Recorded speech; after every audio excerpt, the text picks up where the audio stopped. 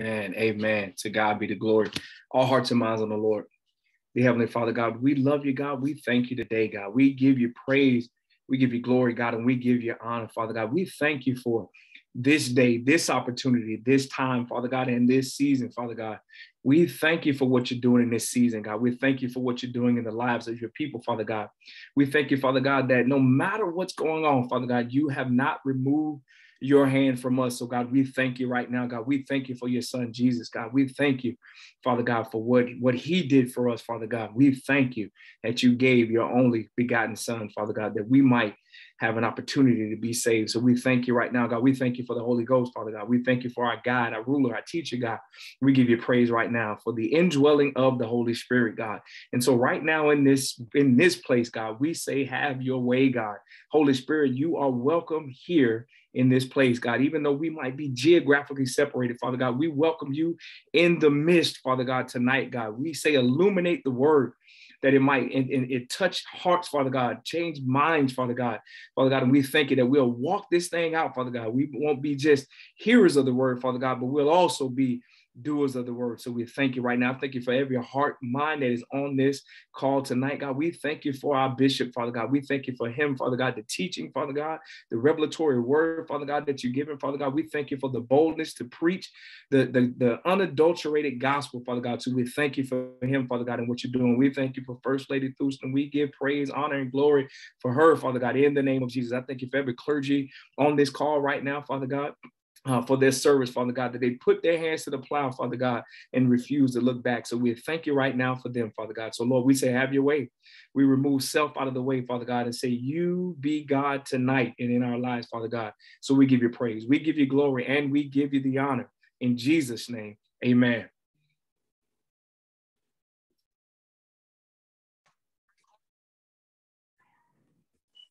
And amen.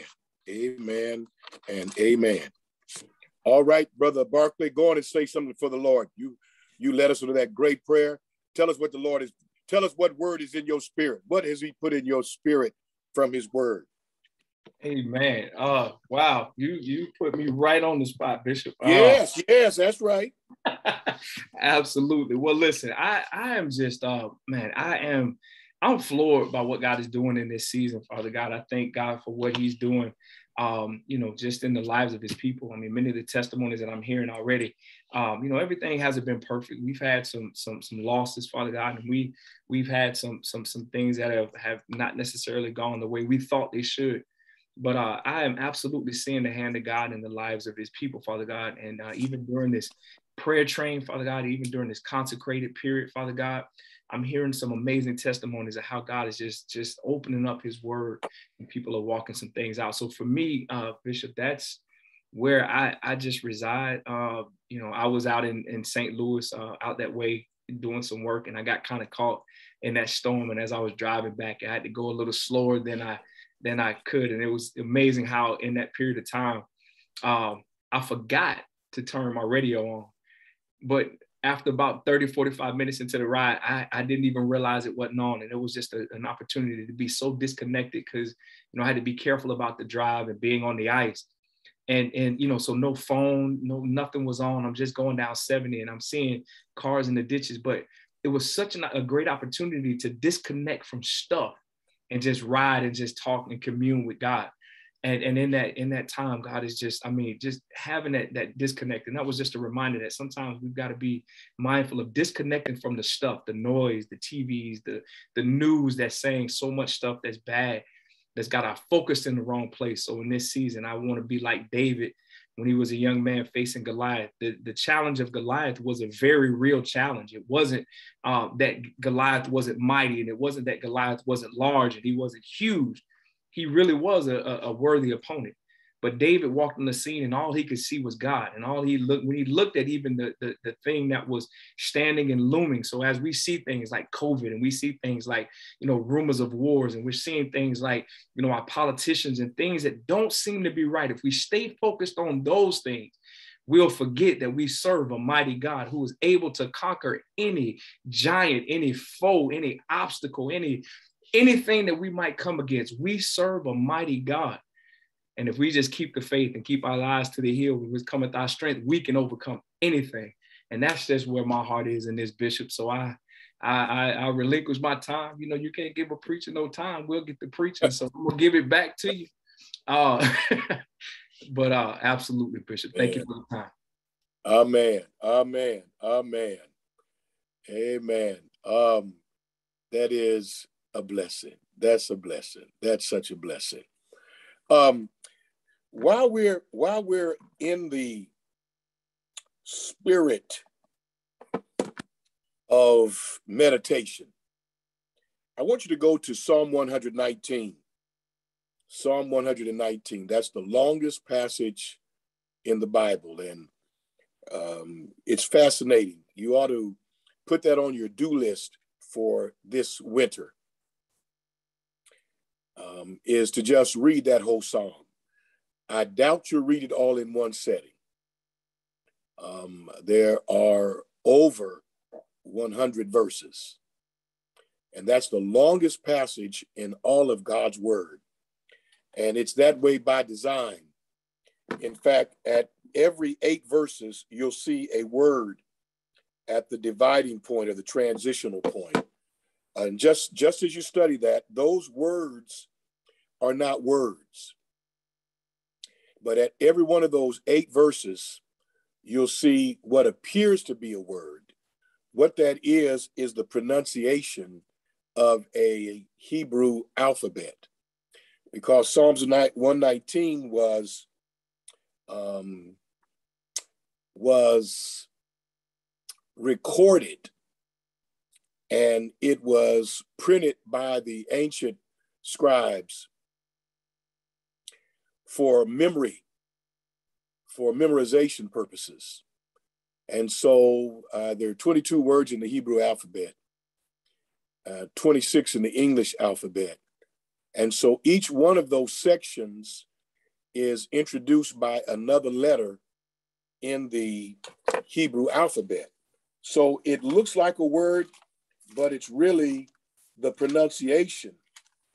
And without going too deep, I see myself going deep in that because when most of the Hebrew people began to read the Bible, they had moved and they had been exiled and taken into captivity in Babylon, um, which later was overtaken by Persia. And therefore, most of them had lost the fluency of the Hebrew language, and they began to speak Greek, which was the language that followed the um, um, the Persian world domination. They went from Babylonian to Persian to from Greece to Rome, and then we're into the um, Middle Ages, so to speak, following that. But the point is, they began to speak Greek, and many of them had lost the memory and the fluency of their language, Hebrew. And so, as the scribes began to copy the word of God that was in Hebrew, they wanted the children not to forget this powerful passage. And this was their way of really learning their alphabet. And so by the time you get to Psalm 119 and verse 105, you see at the beginning of that is the word N-U-N. Um, and you probably would pronounce it the way they wanted you to pronounce it correctly, which is nun or none. Uh, and that is equivalent as close as you can be equivalent in another language. That is equivalent to guess what letter? Just take a wild guess. What letter do you think that might be equivalent to pronounced none? Yep, you got it. N. Of course, again, I don't want to go too deep into language um, flavor, except to say, whenever you would say N, then people would immediately quote Psalm 105 to 112. That was like a memory device. And so by the time um, you get to the word one Psalm, uh, verse 129, you see pe, or some pronounce it fe, depending on what dialect. So they would immediately quote 129 to 136. Let me see if I got the right number. see, 105, 106, 107, 108, 109, 110, 111, 112. I think I'm pretty right. Is that eight verses? So this, whenever you would say the letter none or in, immediately those that had been raised in a Hebrew family would start to quote or sing, because each one of these sections is also a passage of a song. It's a um, verse of a song with all of these eight verses. So they would either sing because it had a tune, they would play if they had an instrument, uh, they would remember if they were listening, or they would quote everything in 105 to 112. That would be a trigger so that they would not forget the word of God. And Psalm 105 takes you right into the whole purpose for this memory device. Oh, by the way, this was used for children because children, their memory was the at its greatest capacity. So by the time you got to be older, you would have already incorporated into your mind, into your spirit, into your life, the word of God, which would give you a tremendous advantage of living victoriously in the covenant of God's word. So Psalm 119 and 105, we're not going to try to cover this whole psalm tonight, but will you just um, read that verse, the 105th verse of Psalm 119. All right. Um, can you read that since you're off to a good start, Brother Barclay? Read that verse. Psalms 119 to 105 says, Thy word is a lamp unto my feet and a light unto my path. Wow. I wish if it was left up to me, we would spend the rest of this evening, the next hour, just talking about how the word brings illumination. Thy word, not the word, but your word. Well, like all Psalms, that's a clue that this is a prayer. Because who is this verse addressed to? Thy would be thee, thee would be he. I'm not talking to myself. The only audience is the one who is the source of the word, your word. He's talking to God. This is a prayer language. He's talking to God about the incomparable power of his word. I'm getting happy right now. I'm, I really feel the illumination of the Holy Ghost right now. The enemy does not want you to appreciate the incomparable power of his word. And the psalmist said, I'm going to tell you right now this is the source of my understanding. This is the source of my direction. This is the source of my joy.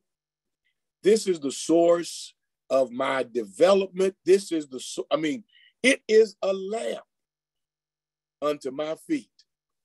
And my feet would never go in the right direction without the illumination, the light of your word. And it is a light under my path. This is my guide for life.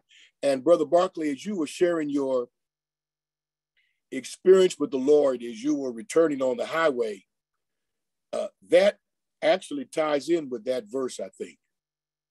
That if you can just clear your mind of the clutter of this world, if you can make that a practice to flush from your soul and from your thinking all of the filth, the pollution, and the fakeness, the lies, and the distortions that just cloud our world and zero in on the word of God. My God, it will give you direction for your feet and illumination for your life. That's why we call this meditation. And that's why the enemy is mad right now that you made it. Because he knows he's in great defeat for any believer that is being guided by the pure, unadulterated word of God. It doesn't mean that everything, and Brother Barkley is correct, it doesn't mean that everything is pleasant. It doesn't mean that you are a lucky person. We know luck is a lie. It doesn't mean that you get everything you wish for. No, it doesn't mean that you've made it to heaven where we are in paradise and unending happiness for eternity and the fullness of all joy shared with all those in glory. Well, no, we're not there yet. We are in an evil world that was made good, that has been cursed by the sin of man. But in the midst of this dark, often grossly dark world, God's word shines incomparably. And the psalmist said, While I'm praying, out of all the things I'm going to pray about, I'm going to pray about the gift of your word. Your word is just what I need, and it's what everyone needs. It is a lamp unto my feet, and your word is a light under my pathway. Hey, why don't you just take about 10 seconds and praise the Lord for his word? Go on and praise him. Open your mouth, bring your hands together, open your spirit, and let's glorify God who's given us his eternal word that shall last forever. Forever. Everybody say forever. Say it again forever. Heaven and earth shall pass away, but thy word shall never pass away. Jesus said, Jesus said, my word shall never pass away, but it abideth forever. Um, y'all, y'all ready? Y'all ready to go a little further tonight? Well, that was a, I think, a blessed study we did on the letters of Paul, and you you can use that as one of your uh, guides and um, launching uh, pads for later on this year. You could continue to go through the letters of Paul. I knew that was going to be a blessing. It was a greater blessing than what we thought. I want we're, we're going to go to a topic, and when you do meditation of the Lord's word, there are two, um, yea, three basic methods you can use. Uh, the one that we just finished on the letters of Paul, where we are going from a letter to letter, from book to book, from scripture to scripture, um, is called an um, um, a textual study. You study the word by looking at a section of the text. Some call it expositional, but it's when you take a letter or a chapter or a book, or in this case, a section, and you just dig in that particular section. And so you are studying a section of the scriptures and you go deeper and deeper and go layer by layer until you have explored um, the Gospel of John or the book of Esther.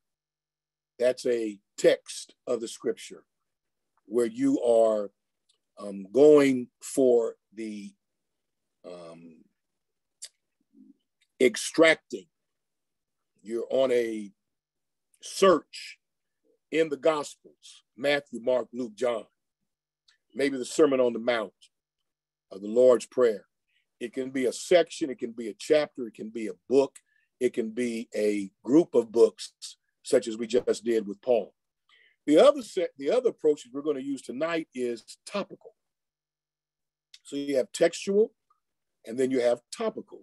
And topical is when you take a particular topic and you don't just limit it to one passage, but you search throughout the scripture to glean what is there in various passages on that topic. And from that, you glean a grasp of what the word of God says on that topic. Some say that textual is the vertical and topical is the horizontal approach to studying the word of God. The vertical is where you go in one location, you go deeper and deeper and deeper, and whatever comes up from that is pure gold. And the topical is when you go wider and wider and wider, and you gain more information than you would have um, otherwise. And anywhere you go, just like it was gold going in the vertical direction of the textual, um, when you go topical, you get the breeze and the warmth of going from mountain to mountain and from valley to valley and from seashore to seashore. So you get the tapestry and the wind and the breeze. The third, the third is one that I don't recommend the most, but it's okay. And that is the, um, they call it random.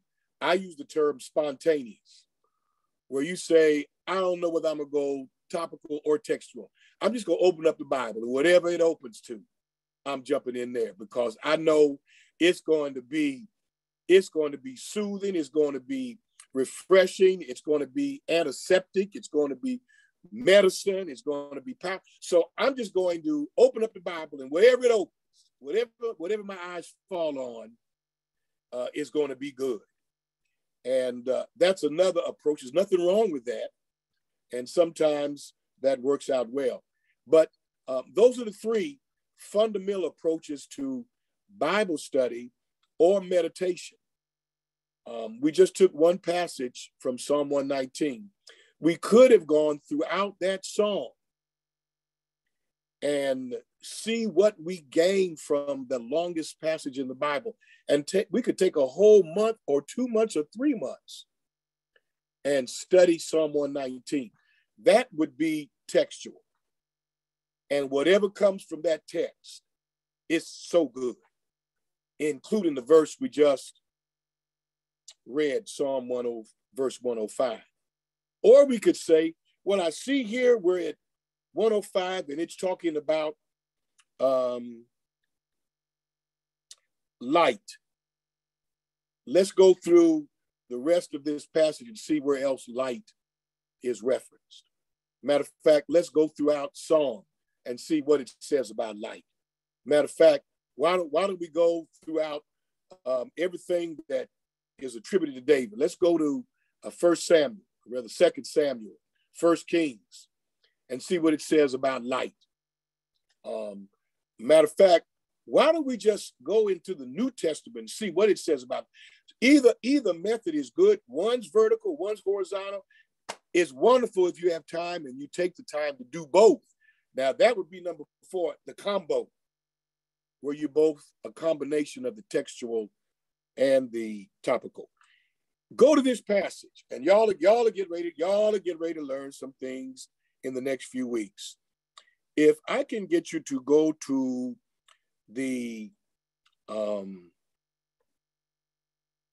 um, gospel according to Mark chapter 12. Mark chapter 12.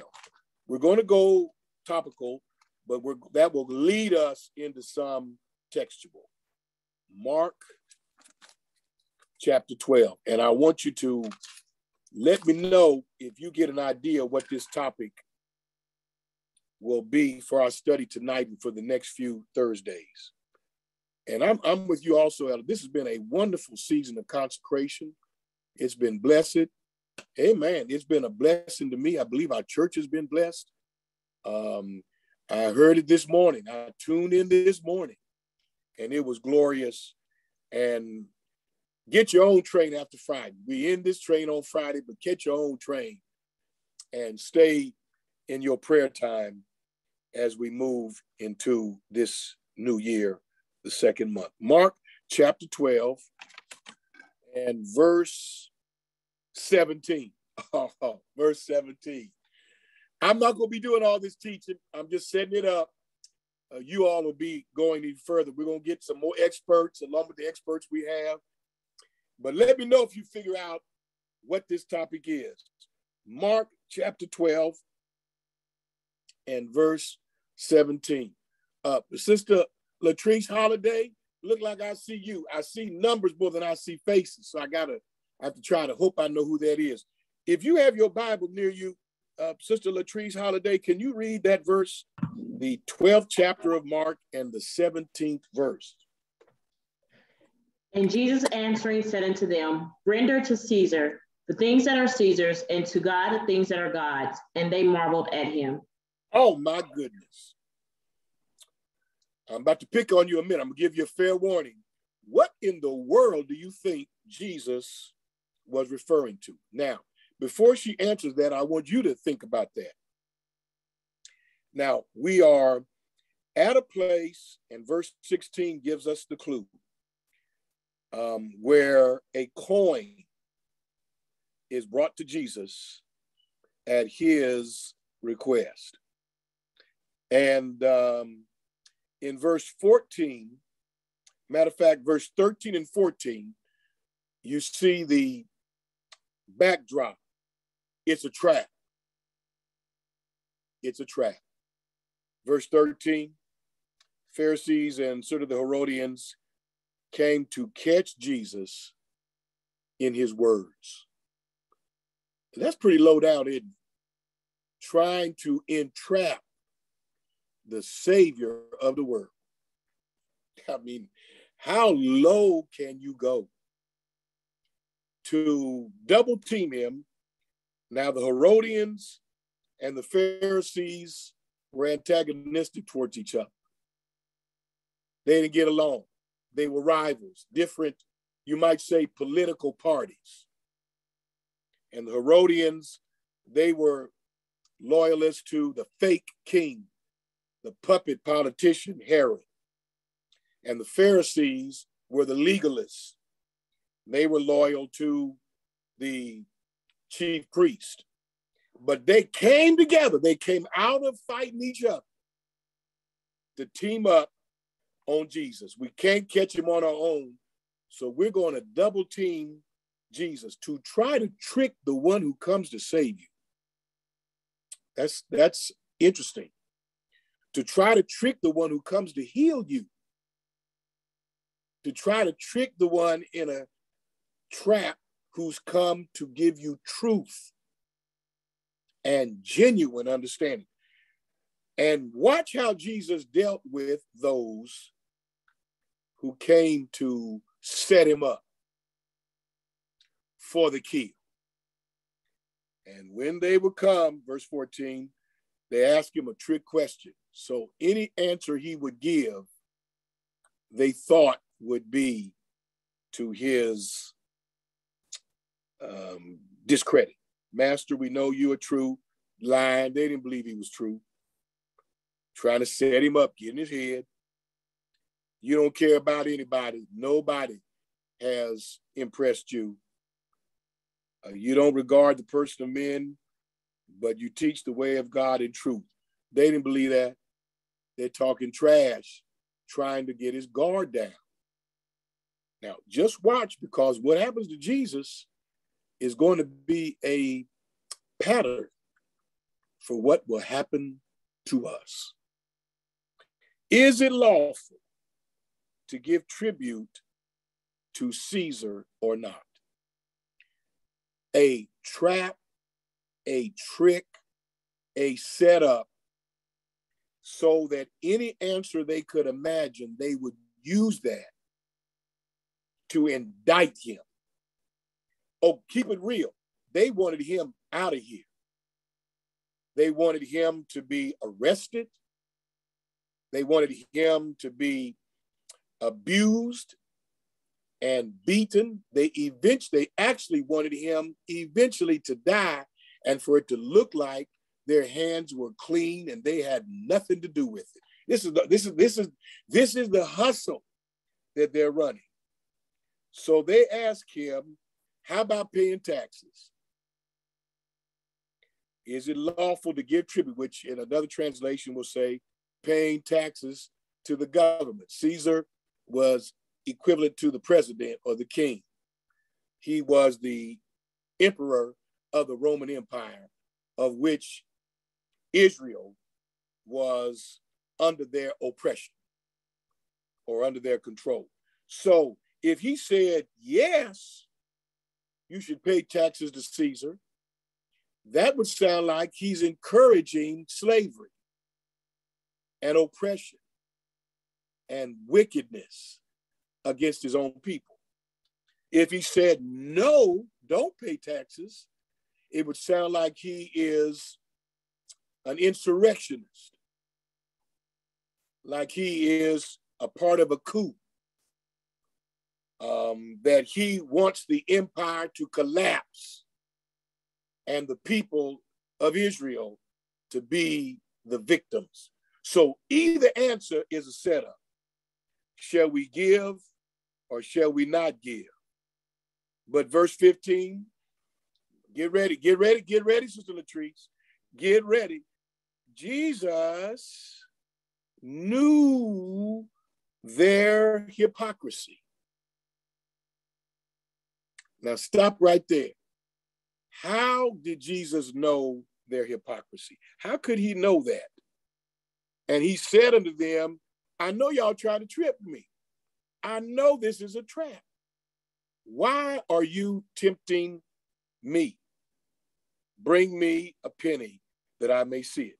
I want to ask you before Sister Latrice gives us our answer on what did Jesus have in mind when he gave the answer to the question, how did Jesus know that they were being deceitful, hypocritical, fake, false? How did how did they know that? What you think? What you what do you think, Brother Rivette? You have any clue on how Jesus knew that this was a trap of temptation? What you think? Glad to see you, Dr. Rivette. Good to see you, Bishop. Bishop, I'm just I'm just getting on here and I'm just trying to catch on to what you all are talking about. I'm just trying to get caught up here. Good, good, good. I should have known that. Thank God you made it. All right. Um, Sister Barnes, what you got? What you think? What you think? Why how did Jesus know that this was a double team? Well, I think well, first of all, the Lord knows all things. So he knew um, already from their line of questioning what their motive was. Good. And um, he knew that they were from their just from their disposition what they were trying to they were trying to do. Good, good. All right. That sounds good. That sounds real good. He knows what you would not naturally know. First Lady, I think I saw your hand. I definitely want to hear your answer. I put it in the chat and I pretty much said what uh, I pretty much said what Sister Bourne said that Jesus knew all things and he knew their hearts. He knew that, that their heart was was uh was not was not was not righteous. Okay, he just because he just knew. Uh, he had that capacity to know everything. All right, we, we we got we have to we have to receive that. We have to receive that. Um, let let me go to Brother Jones, Brother Darwin Jones, Brother Darwin Jones. You ready? How did Jesus know that this was a hypocritical ploy? Uh, yes, sir, Bishop. Um, you know how sometimes after we deal with certain people over a period of time, we kind of figure out what they're all about. So I think he probably knew from his previous dealings with the Pharisees that they were up to no good. That was even from a human perspective. And but as they've said already, from a spiritual perspective, he is omniscient. But even from his previous dealings with them, he knew that they were up to no good. Okay. He had prior history with them. So he was familiar with what they represented. That's very good. Very good. This this may not have been his first encounter with this group. All right, Sister Jane A. Lewis, I see your hand. I want to hear you, Sister Jane A. How did Jesus know that they well, did no good? Okay, well, I don't know. I guess I thought when he uh, asked them to bring him the penny, and uh, when he brought the penny, I mean, he seen what was on the penny, and he said, "What is this image?" And they said unto him, "It was Caesar." And so I, I guess my thought, um, my thought is, for then he would he knew for a fact, you know, that um, they were answering to Caesar, you know what I'm saying, instead of instead of the Lord. Good, good. How about this, Sister Jane? How about this, Brother Jones? How, how about this, Sister Barnes? How about this, First Lady? How about this, Saints? Jesus was keenly aware that things are not always as they appear. Jesus was aware that what people may appear to intend is not always accurate. In other words, it's a lot of liars in America. He knew there are a lot of false pretenders. He knew humanity is tainted by evil ever since the fall. And what appears on the surface is very often not consistent with what is in the heart. So Jesus, as you all have mentioned, all of you being the Son of God, uh, he had access, access to all knowledge. Yeah. Okay. So Jesus was a spiritual being. I want you to receive that. Jesus was a human, 100% human, but he was also 100% spiritual or divine. So Jesus was not only in tune with what people said and how they looked and their emotions and their actions, but Jesus also knew you should always seek to discern the spirit of a person that you encounter. The spirit of a person is much more defining than the natural. In other words, they could have said something that would have been technically improper. But if their heart was pure, that would put them in the category of the righteous. Man looks on the outward appearance, but God looks always at the heart. So that may be a lesson for all of us that when you're dealing with people, especially those that want to get close to you, help me, Holy Ghost. It could be the salesman really not that concerned about you. His main concern is what do I have to do to make a sale? Nothing wrong with him selling whatever he's selling, but don't ever be confused about what's going on here. Um, for someone who seems to be friendly to you, we all have a attraction to those that are friendly towards us, but you never want to take all that at face value Be spiritually minded. Maybe the person does want to be friendly towards you, but let that be the conclusion of your spiritual discernment. Don't get into a car with strangers unless you've got some kind of no fault discernment that something good is going to happen.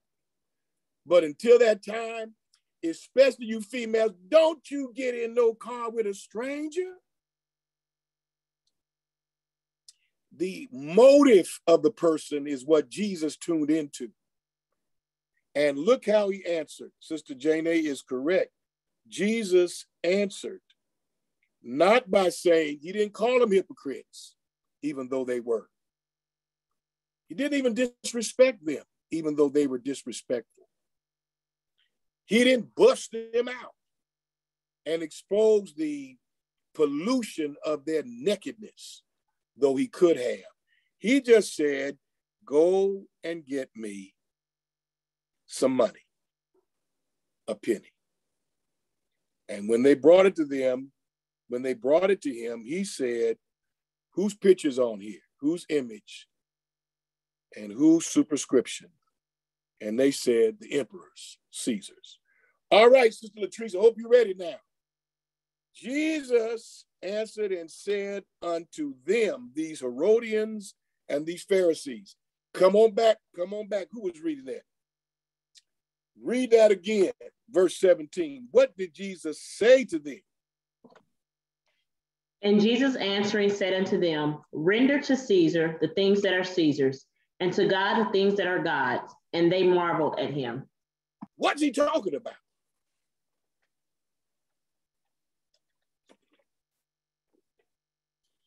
What do you think? What do you think he has in mind, Sister Latrice? What do you think he's? What is he expressing? What does that mean? I think he's saying obey the laws of the man, but also obey the laws of God. Good, good. There are laws of man and there are laws of God and obey them. Now, that is somebody who has just made a plunge into a topical study. What is the subject? Let me see anybody put in the chat. What is this topic about? I will go to the chat and see what you put. Uh, let me see what you have here. Um, let's see here. Um, right, right, right. Uh, somebody said taxes. Somebody said money. You would be right on both of those. Money. Uh, Brother Jones says respecting the government. Yes, that's true. Um, anybody else? Did I miss anybody? Brother Jones, tell us what you mean by respecting the government. Uh, yes, sir. So, since they were citizens under Caesar, and he was providing a place for them, part of the responsibility for them having that place provided was for them to pay taxes to the one who was providing it. So he showed them the coin so that they can recognize that they did have a responsibility to that person who was on that coin, who was the provider of the uh, land that they were living in. Okay, so when we talk about taxes, and you're both right on that, um, to render to Caesar the things that are Caesar's. That's not talking about go directly to Rome and bring him a, um, a check. He is talking about paying your taxes. And you pay your taxes with your money. And the question is is it lawful to give your tribute or your taxes to Caesar or not? That was the question. And Jesus says it's not a matter of either or, it's a matter of both and. You should pay your taxes, but that does not mean that you endorse everything that Caesar does. It means you respect the fact that government is ordered by God and government is necessary for the proper management and order of society. And man in his unrighteous and imperfect and sinful state tends to be abusive or negligent with authority. So government should not be dishonored, but that does not mean that you are in agreement and you support everything the government does because there is a authority that is above the government. And so definitely don't neglect what you render to God because you pay your taxes. And because you pay your taxes does not mean you should neglect in any way your service to God. All right, Brother Jones, look like you're telling me something else. I want to hear you. Okay, Bishop, I was just going to point out that in the chat, uh, First Lady Thurston had, had kind of brought some clarity to it when she said, render the natural things to man and the spiritual things to God. They were uh, trying to see, it seems like they were trying to see if, if they were to put Caesar in God's place or God in Caesar's place by asking that particular question to trip him up. And like I said before, he knew from their previous dealings with the Pharisees, because he was talking to the Pharisees, that that's what they were all about, trying to trip him up. So it, it came down to they were trying to get him to uh, respond in such a way they can say that uh, he wasn't honoring God, it appears. How about this, Brother Jones? How about this? How about yes, this? Sir. Anytime you get serious about money, get ready for a trap. Anytime you get serious about your money, be prepared for confusion. Anytime you really want to know what God says, not the Herodians, not the Pharisees, not the government, but what God says about your money. Get ready for the enemy to confuse the issue. And you're onto something there that when they asked him this question, it was designed to confuse the role and thus confuse the money because everybody knows that money can be that source that will make you or break you. And what I want you to do is join these Herodians and these Pharisees who got one thing right. They came to Jesus to get the answer. Now, their motive was wrong, their intentions were wrong, but look at the outcome. Let me go back to you, Sister Latrice. What's the last part of verse 17? What was the outcome?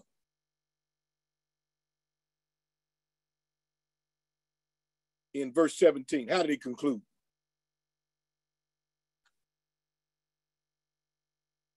and they marveled at him. They marveled at him. And verse 18, and we'll leave this, then come unto him the Sadducees, which say uh, there is no resurrection. And they asked him a question. That was it for the Herodians. That was it for the Pharisees. Then another gang showed up. And the Sadducees said, you know what? We're not going to ask him anything else about taxes. We're not, oh, no, no. That didn't come out the way we planned. We're not going to ask him anything else about money. Let's ask him about something else. I want you to get in your mind what someone has already put in the chat. What does the word of God say about your money? And it's personal too. And what does it say about my wife's money? maybe that didn't come out right. Maybe, maybe, maybe I ought to say, what does the word say about my money? And I think we're going to find something right there is going to be a reference of this topic that I don't want you to ignore. Um, go to Deuteronomy chapter 8. We started with the gospel. Now we go to the Pentateuch, to the law, to the old covenant, to the original covenant. Deuteronomy chapter 8.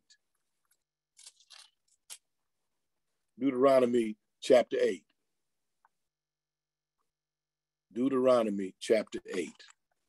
Uh-huh. And verse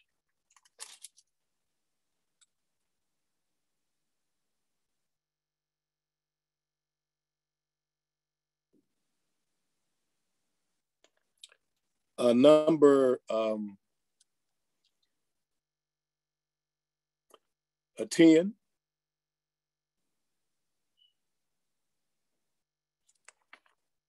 Verse 10. Deuteronomy, verse 8. Pardon me. Pardon me. Elder Williams, good to see you tonight. Sister Williams, is that you, Sister Williams? Um, Sister Williams, can you read that passage, Deuteronomy verse 8 and verse 10? Yes, sir. Good evening, everybody. Good evening. Yeah. When thou hast eaten and art full, thou shalt bless the Lord. I'm excuse me, bless, bless the Lord thy God for the good land which he has given thee. Read that again. When thou hast eaten, are full, then thou shalt bless the Lord thy God for the good land which he hath given thee. Uh-huh. Now, where did all of this come from? The land, the food, the nourishment. Where did that come from? The Lord. Now, you, that came from the Lord. Mm-hmm. So when you get it and you are so full, then what should you do? You're doing good, sister. What should you do after you have received so much from the Lord? What should you do? Bless, give him thanks, praise yeah. him for his mighty acts. God has a habit of giving us more than what we need, not just mm-hmm. enough, but filled you. Mm-hmm. But that comes from him and that qualifies us to bless him. Now, would you go to verse 18? Mm-hmm. And read that. But thou shalt remember the Lord thy God, for it is he that giveth thee power to give wealth, that he may establish his covenant which is swore unto thee thy father, thy fathers, as it is this day. What you want to say about that verse, sister? What you want to say about that verse? I say amen.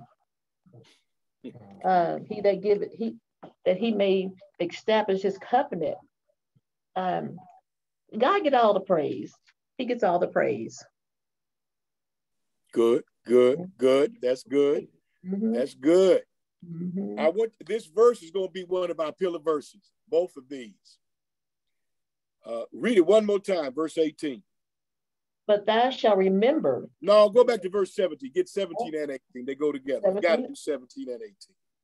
And thou shalt say in thy heart, My power and the might of my hands have got, gotten me this wealth.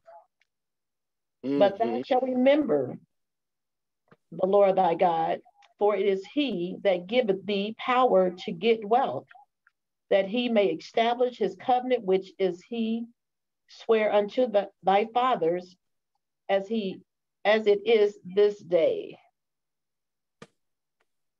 All right, I'm com- I'm coming to you. I'm coming to you. I'm coming to your sister Crystal. I'm coming to your sister Crystal. Um, what is that verse giving us as a lamp unto our feet? We're getting some guidance here. We're getting a light into our path. Uh, Brother Barkley, what you telling us on that? What you telling me, Brother Barkley? Wow, I, I was actually typing in the in the in the chat and misspelled it. I got so excited. You know, sometimes you just misspell because you are being such a hurt. Uh, I'm a talker, not a texter. I promise you. But uh, I was so glad you went back to 17 and, and asked her to go back and read that because I think that connects so greatly to what you were talking about earlier when you were saying when we were talking about how Jesus and the heart, right? So you know, it, it, it begins with "and thou sayest in thine heart." It already goes into the perception of what the heart thinks, right?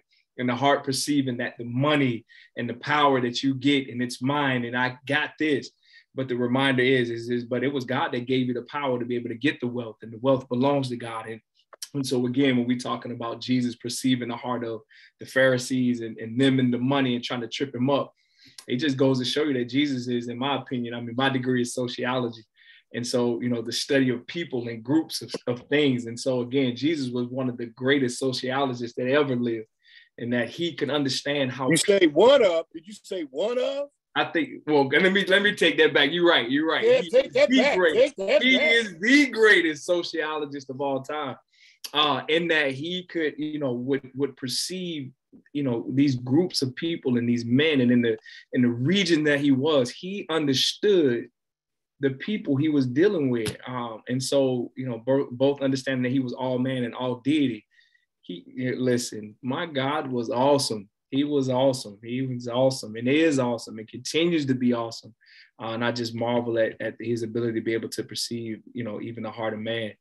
Um, but I, I, think this is a great connector scripture for what we were talking about just a little bit earlier, you know, talking about the heart and how we get, you know, because once we start getting our money, we start to think it's all about me. It's all about us. We've arrived, we've attained, we got it. We we all that in the bag of potato chips. At the end of the day, it is all God. It is all God. It gives us the power, the strength, the mind, the ability um, to, to go out and do the things that we do. So we've got to always honor and praise Him. Amen. Very good. All right, Sister Melinda Madden, what you get out of that verse? What you get out of that verse? I saw your mind moving. What you get out of that verse, Sister Madden?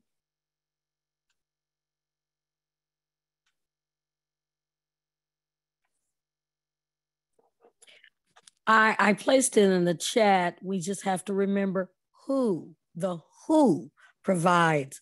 Who is our provider? And you talk about light.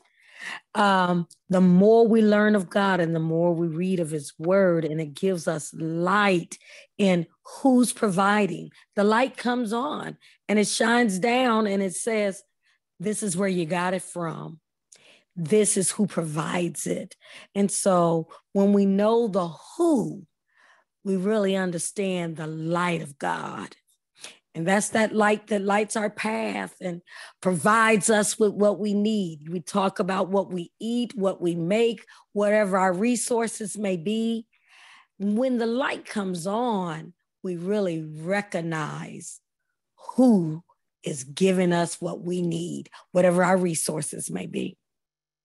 The operative word there, Sister Madden, that you're referring to is covenant. Yes, we should remember, but what we should remember is the relationship between the wealth and the wealth giver.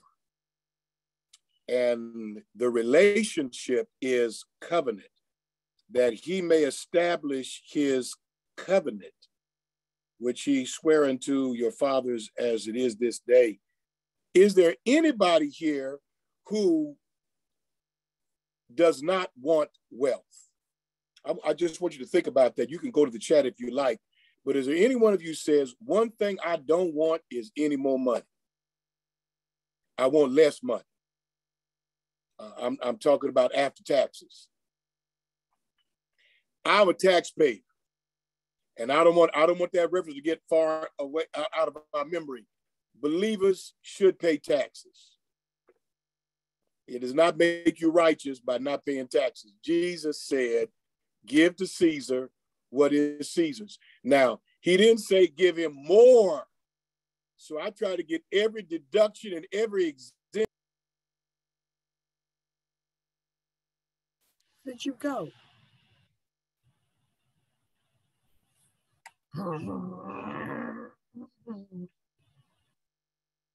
See, I think the government. Well, heard, praise the Lord. I think the government heard him teaching on taxes. He, he There he is. There he is. that, where is he, Bishop? Oh, okay. Okay. You Unmute yourself, Bishop. I unmute yourself. Unmute yourself. Unmute yourself. Can you hear me? Can y'all hear me? Yes, ma'am. We can hear you. We, unmute Okay, yourself, Bishop. Un- un- you. unmute yourself, Bishop. Unmute yourself. Text, We can't.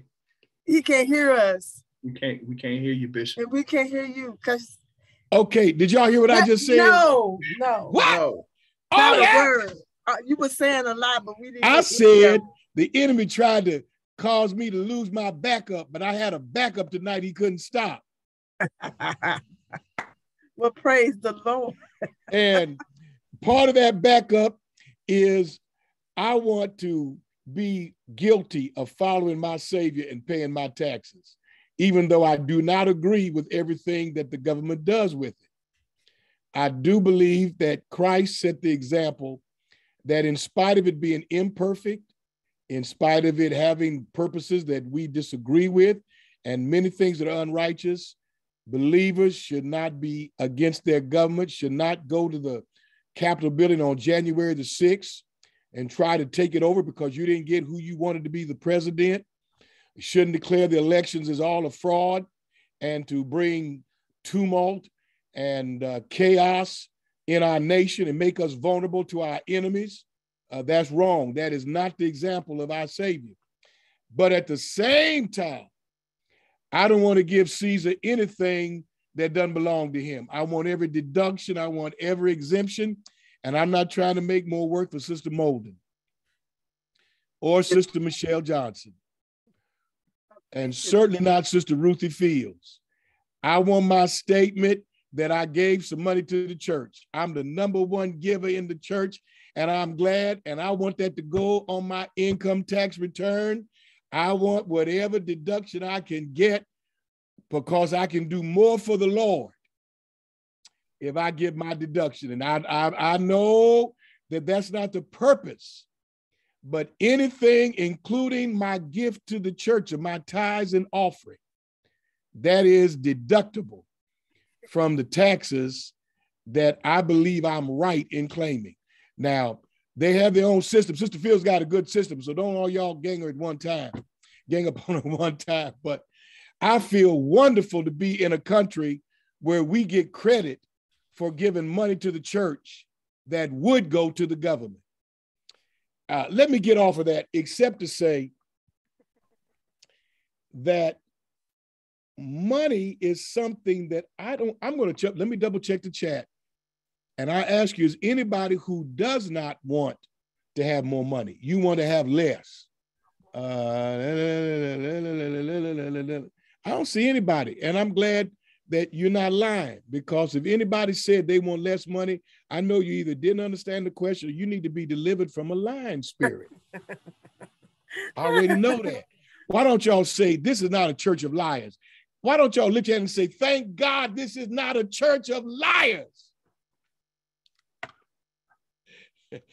And guess what? You're not following a pastor who's a liar. I want every dime that God wants me to have.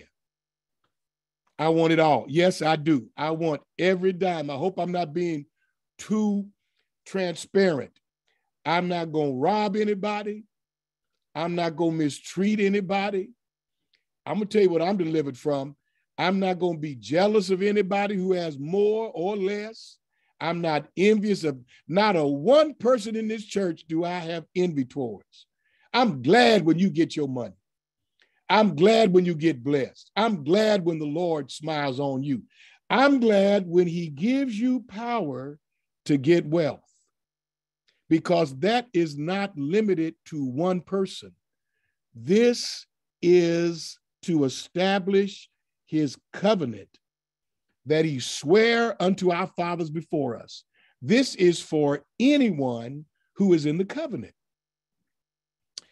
So let, let I think we can move on from the place where we are opposed to an increase. Well, that brings us to two concerns. Uh, number one, what is wealth? What is wealth? And uh, we, are going to try to get, I'm, there's a lot in the chat tonight, and I'm glad because this is a topic that applies to all of us. Uh, but if you want to go to the chat, put in what is wealth. Brother Dr. Rivette, tell us something about that. Uh, well, actually, Bishop, I was going to say before you got off the subject of unmute, verse, uh, unmute. Can you hear me? Can everybody hear me? Okay. Can you hear me, Bishop? Okay. okay. I was going to say, I was going to say, Bishop, uh, before we got off the subject here on verse 17 and verse 18, I always look at uh, verses in the Old Testament and try to connect them to verses in the New Testament. And this kind of coincides a little bit with John 15 and 5, where the Lord, um, you know, was very blunt, you know, when he said that, you know, I am the vine and you are the branch, and without me, you can do nothing. And it was very kind of very blunt with that. And this kind of, I was just saying that verse 17 and verse 18 kind of coincide with uh, what he uh, said in uh, John 15 and 5. Very good. What do you think wealth means? What does that term mean, wealth? Uh, wealth is, it could be, actually it's, you know, something land or money or something that was handed down uh, from generation to generation uh, to you uh, something that, something that's being passed on. Not always just don't have to be money. It would be uh, land or other valuable possessions or whatever. Something that was passed on, been passed on from generation to generation. Good. Um, someone says in the chat is the blessings of God. Um, wealth is abundance. Wealth could mean plenty, uh, over abundance, wealth. God God is the giver of wealth. Now, let, let's let's let's let's let's uh, jump to the fundamentals of wealth. Wealth is natural, and wealth is spiritual. There are different qualities of wealth. Um, wealth can be physical, wealth can be artistic. Wealth can be emotional. Wealth can be relationship. I feel wealth right now. My wife is studying the Bible. My daughter's studying the Bible. I think I saw a sister studying the Bible. That's wealth. To have people that you're related to in your family that are addicted to the word of God. You, you, I, I don't think you can put a price on that. And then you, you're my family. To have 35, 40 lines with other people that have blocked out an hour and a half tonight just to meditate on the word of God. That's to me, I consider our church a wealthy church because there is a love for the word of God for the truth of the Lord, for his revelation, for the fellowship, for the worship. Uh, just this week, we started being a testing center in our community. Every day, beginning next week, I call that a wealthy church. That's a giving church. We just sent money from our meager funds to the foreign field. That's wealth.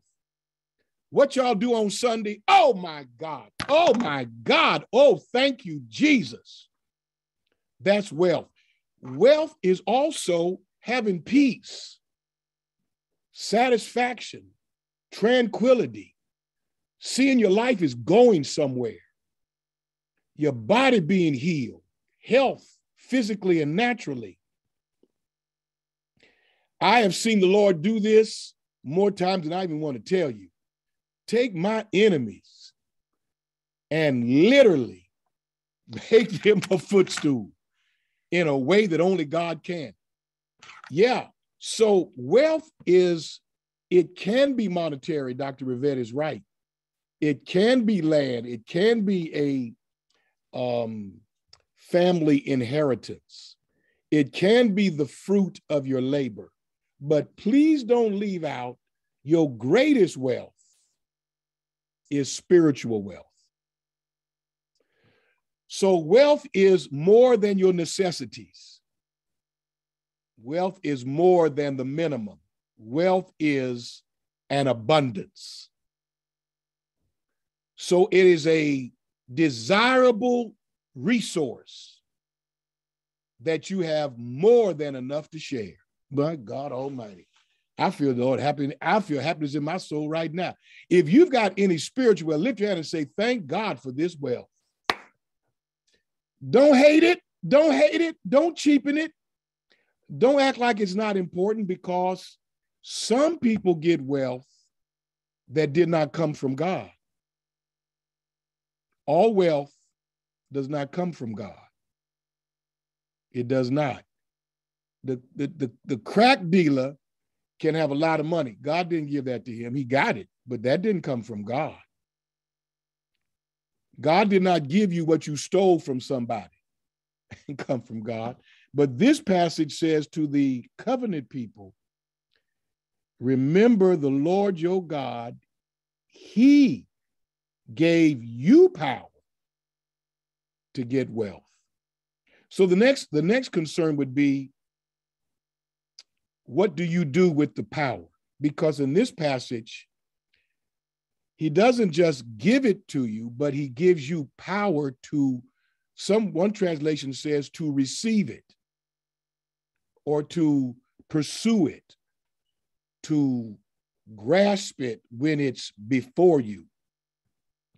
And often when it comes to wealth, we expect God to do it all, but here it says he gives you the ability he gives you the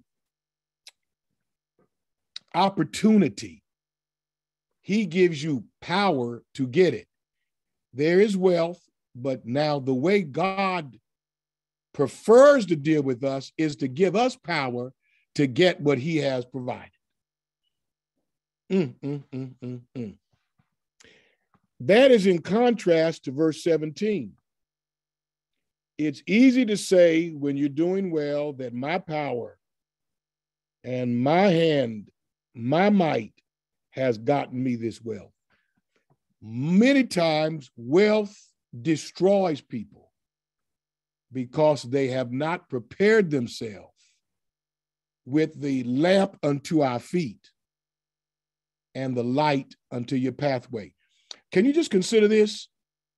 Um, for many people, they cannot be trusted with what God has for them. They can't be trusted. As soon as God gives them wealth or a blessing or something beyond what they expected, just what it says in verse 17, they become the center of the entire canvas. And they end up saying in their heart, maybe they would never say it with their mouth, I did this. I got this. I earned this. I invested this. I saved this. I figured this out. My power and the might of my hand has gotten this wealth. It was my family, my grandmother, my, wait a minute, wait a minute, y'all me being a Scorpio. I did that because of my um, zodiac sign. I just worked hard. And the scripture is showing us that when God gives you power, never take the credit and never abandon the purpose. And I'm leaving this at this passage, going to another one. But look at the purpose of him giving them power to get wealth. Can anybody identify what that? I want to go. I want to go to you, Sister Crystal. I want to go to you. Does that verse tell us the purpose that God gives us power to get wealth. What is the purpose of that? Why does he do that?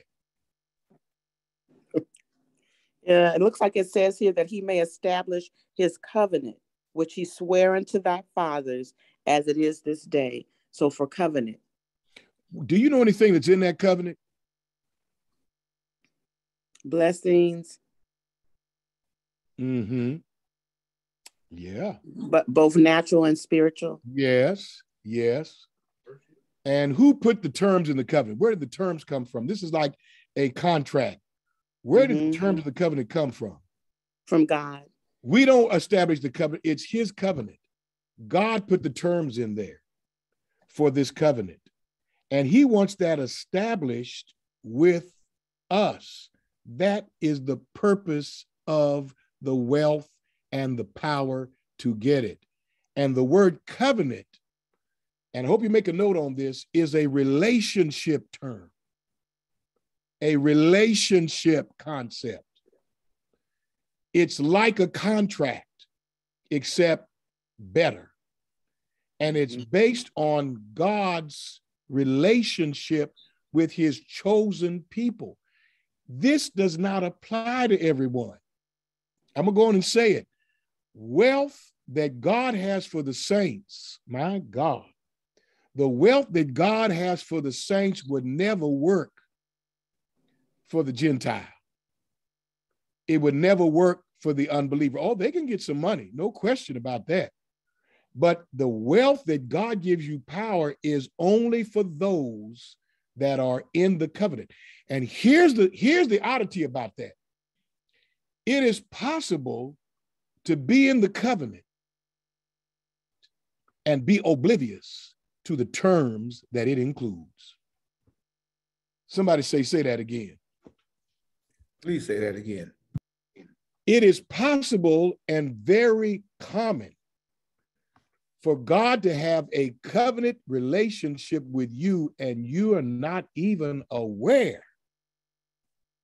of what's in that covenant with your name on it.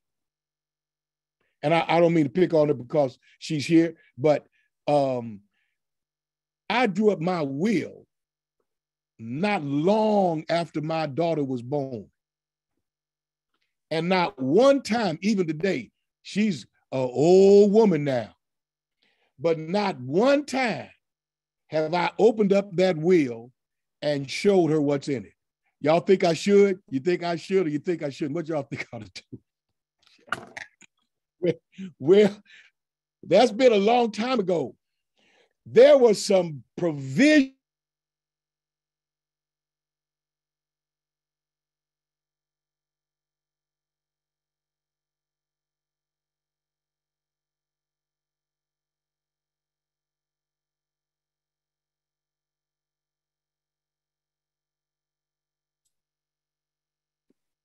Mom, what's in the will? oh, he, he I'm not gonna find out tonight.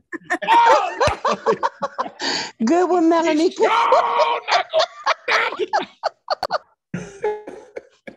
Do you know what? There are terms in this. Co- I'm coming down your. I'm coming down your alley.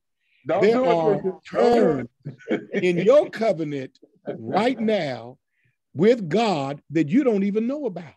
Mm. Because it's his covenant. You had nothing to do with the terms of it. He custom made this covenant with you in mind, and it's the same covenant that was with all of the believers before you. He's only tweaked it for your particular future. My God, everybody in the covenant has power over the enemy. Everyone in the covenant has power over disease. Everyone in the covenant has power over starvation. Mm. Everyone in the covenant has power over fear. God has not given us the spirit of fear, but in the covenant is power. Well, you just heard it. Power. Power to what? Get wealth and love. Power over hate. Power over grief. Power over depression power over fear, power over deception, power over lies, power over defeat, power over self loathing, power over poison, and power over all of the works of the enemy and a sound mind. The reason you never have to go insane is because a sound mind is in the covenant of every believer. Thank you, Jesus. And a lot more. Not only does the covenant tell you what what he has in the wealth, but the covenant also gives you the formulas. It gives you the keys to how how to access it. He giveth you power to get wealth. And what am I reading? The perfection of need being met, whether it's emotional or spiritual, relational, financial, physical, only God can do that with perfection. He not only gives you the power, but in that formula, he also shows you how to access it, how to use it, how to increase it, and how to share it for the glory of God. One last verse. Our time is about up. Our time is about up. Our time is about up. One last passage. One last passage. Um, First Timothy chapter 6, and verse 10. Now, you have to include this in your understanding of what God said about your money. What God said about your money. First Timothy chapter 6 and um, verse 10. Verse 10. All right. Very good. Um, Sister Janie, do you have that? Can you read that? First Timothy chapter 6 and verse 10. That'll be our final uh, passage tonight. First Timothy chapter 6. Mm-hmm. Yes. Okay. Um, let let as many servants as are under the yoke. First Timothy, First Timothy chapter 6, not second. First Timothy okay. chapter 6. Oh, okay. Verse 1. Come on down to verse 10. Oh, come down. Okay, come down to verse 10. Okay. Now, wait a minute. Right Stop now. right there. Since you went there, just realize he's now talking about those that do not have any wealth naturally in verse one servants under the yoke working for somebody and he tells mm-hmm. them show them honor and some of these were perhaps slaves most of these were servants which meant they worked for somebody and they mm-hmm. never never could get free from the sharecropper this was like a sharecropper rate that's one end of the economy now come to verse 10 and you see the other. Read. Okay. okay. For the love of money is not the root of all evil. Better read it again, read it again, read it again, read it again. For the love of money is the root of all evil. That's it. Read. Which while some coveted after, they have erred from the faith and pierced themselves through with many sorrows. You get anything out of that, Sister Janie? Anything that anything grab you there? Well, yeah, it's like money is not everything. And uh, when you do receive it, you know, it is a blessing and, you know, treat it as a blessing. You know, that um, if you treat it otherwise, then I think that's where the evil comes. So, um, you know, it's a blessing to have it, but also um, it's the root of it can be the root of all evil, you know, depending on how you are using it. It's a blessing from God, but He doesn't want you to use it in ways that you know are not um, right. The problem with money and we just heard all of the wealth affirmations. But the problem with money, there's two problems with money, two problems. And you're probably familiar with one more than the other. One is not having enough. oh, don't hear me, but I'm telling the truth. Yeah. That's a problem if you mm-hmm. don't have enough. And we'll get to mm. that in our meditation series before the month is over. it is not the will of God that your needs are unsupplied. And there are many believers, and you can't always tell from what it looks like on the outside. It's not always a good indicator, but many believers struggle with their needs being supplied. That is not the will of God. It's a reality, but that's not the will of God because my God shall supply all uh-huh. of your needs. But that's a problem for believers who don't have enough. The problem this passage refers to is those that desire it more than they desire the God of the covenant. I'm going to say it again. Um, I asked you earlier how many of you all do not want any more money? How many of y'all want less wealth? Not one of you lied. All of us, if we're honest, we would be glad to have more than what we have. The problem is when we want money more than we want the God who gives it. Because when your love is more for the money than it is the Lord.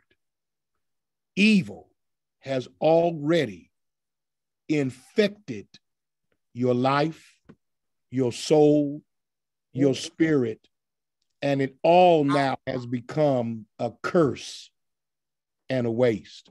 In other words, you've got to be sure that as you become acquainted with the covenant that provides you power for wealth, that you never allow anything associated with that to become the source of your love, to have it and not love it. I'm going to say that again. It's better not to have it than to have it and love it. And if you have not come to this covenant understanding, and guess what? Most people haven't. They say it, but you can see it time and time again as God begins to allow material blessings, people tend to become more spiritually malnourished. It's not only a problem, it is a curse. It is the root of all evil. And so you have to fight that temptation, that force, that seducing spirit, that addiction, that once you find the magic key, you just want more of that and neglect the covenant that gives you the purpose that he may establish the covenant with you that he already started with our fathers before us. That's what we're going to be exploring in the next few weeks. Um, what God said about money and how you can have it and your needs supplied and not love it. Have it and not love it it become your servant rather than you become its slave. You can only do that by his word being a lamp unto your feet and a light unto your path. And your greatest wealth is your Jesus wealth. Thank you, Jesus. Well, now let's give the Lord a, a praise. Let's give him a wealthy praise. Thank God. Thank God. Thank God. Thank God. Hallelujah. Thank God. Let's get our offering and receive our offering. Brother Phil, I want you to bless the offering and give us the benediction tonight. Everybody share. I was looking at the report this week, and you share on Thursday night, and I'm glad that you do. So uh, use the Cash App and use the um, Givelify. If you just don't have it, you can do it on Sunday. The first Sunday is coming up. Uh, we're praying for uh, Sister Burke's family. Um, the Lord touched her, and she had a wonderful night um, And then um, on today, I said yesterday, um, she went in from labor to reward. I was talking with uh, Brother Romel today, and I just thank God for the wealth. And though um, no, we did, they didn't want to see their mother leave um, this soon. But Brother Romel was saying, I just am so glad for God in her life. And I'm glad she had some happiness right up until the end. And I'm glad she was the kind of mother who wanted good things for her children. I told Brother Romel and his family, that's the wealth that even in sadness and in loss, we see the hand of God and we see the goodness of the Lord. You're still sad. Yes, you are. Oh, yes, you are. But we still see an opportunity to, in everything, we praise him and give him thanks. We lift up um, the entire family, and you'll be hearing more about that as we go forward. And um, on Sunday is the first Sunday. Let it be a glorious day. You can bring the oil. We're going to bless the oil. It's amen. We're going to open the doors of the church this Sunday, let's be timely. I want us to be very timely. Sunday school is good. Bible band on tomorrow. Um, we're in a consecration. We got one more train ride in the morning. I hope everybody that can will be on at 6:30 for the final day of this glorious consecration. I'm glad for y'all. I'm glad for what the Lord is doing in our midst, and the half has not yet been told. Praise the Lord. All minds clear. God bless. Let me be sure I'm not missing anything. Amen. Let's praise God for this meditation tonight. Go on and give him a hallelujah. Clap your hands and give him hallelujah. a hallelujah. Thank you, Jesus. Praise him. Hallelujah. Praise him. Yes, praise God. him. Thank hallelujah. You. All right, Brother Phil. Lord, we thank you for this Bible study, Lord. We thank you for giving us the word so we're getting our hearts so we might not sin against you, Lord. We ask you, Lord, just to bless all the families, Lord. Keep our children close, keep our family members close, God. Uh, let us not forget your benefits. And we just thank you, God, for everything that you do for us. We need you in all aspects of our lives, Lord. And we ask you to uh, bless these offerings, Lord, not only just to give a little, but to give in abundance, God. And we just trust you that you're going to uh, give us wealth even through our giving. And we just praise you and magnify you. Ask you, Lord, just to uh, be on the minds of everybody that's in this Bible study and the ones that wanted to come. And we just thank you and give you praise for all things in your son Jesus' name. Amen. Amen. God bless you, saints. Have a wonderful evening and a great tomorrow.